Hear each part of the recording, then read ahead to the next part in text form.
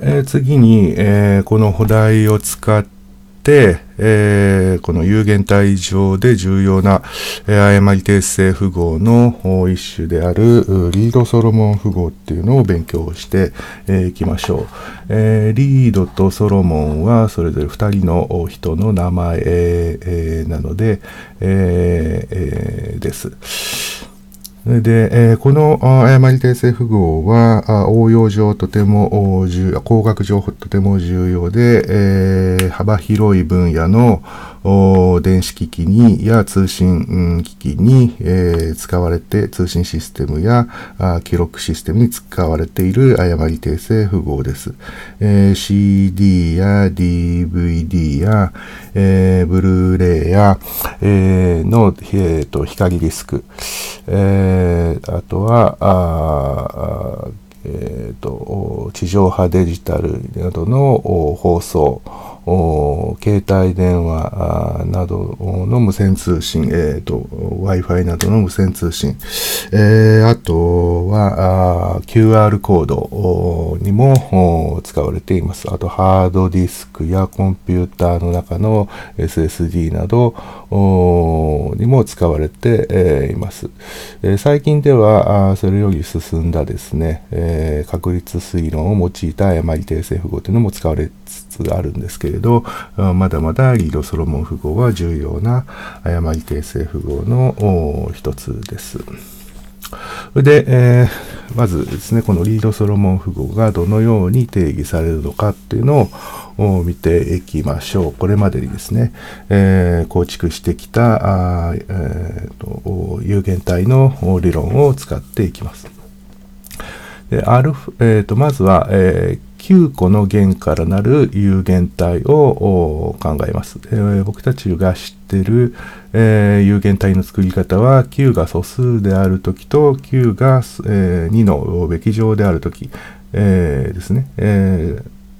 の作り方は勉強をしました。えっ、ー、と、例で扱ったのは2のべき乗なんですけど、実は素数のべき乗のものもどう、えーと、勉強した理論と同じようにして作ることができます。まあでも応用上重要なのは2のべき乗の9が2のべき乗であるときです。で、えー、今 FQ というのを考えましょう。Q は素数かまたは2のべき乗を考えれば十分です。え、で、えー、FQ の互いに異なる9個のあ9個のじゃ N 個の異なる弦であるとしましょう。それで、えー、なので、この FQ には9個の弦しかないので、えー、この α1 から αn っていうのはあ異なる弦になるので、n は9を超えることはないはずですね。それで、えー、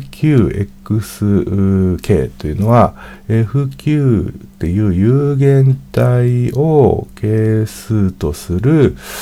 実数が K 未満の多項式の集合であるとします。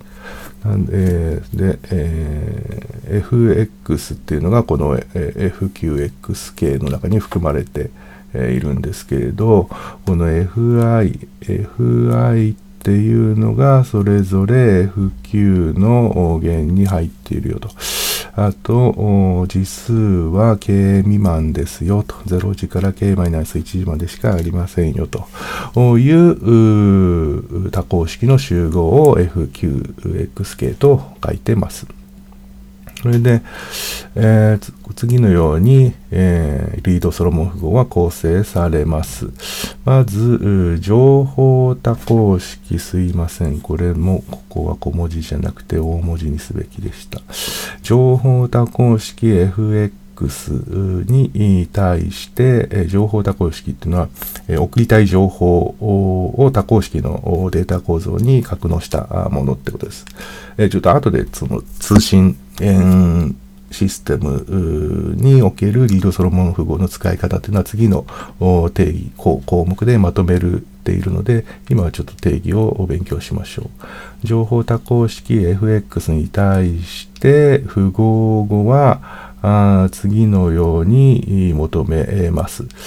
で、えー、F を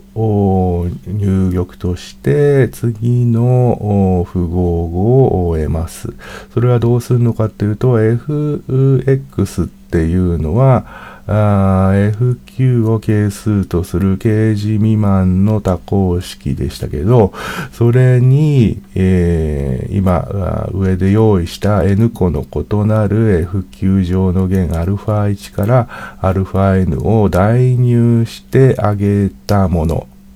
すなわちこれら一つ一つは FQ 上の弦ですけど、それが N 個並んだやつというのが、あ符号語にあ、えー、になります。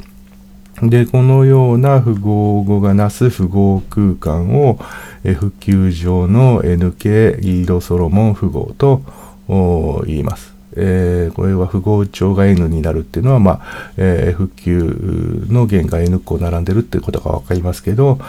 形字、字数が、あ、違う、えー、次元が K になるっていうのは、えー、えー、と、えーここからはあ即明らかではないですけど、えー、次のページぐらいで、えー、実現が形になることがが勉強をします。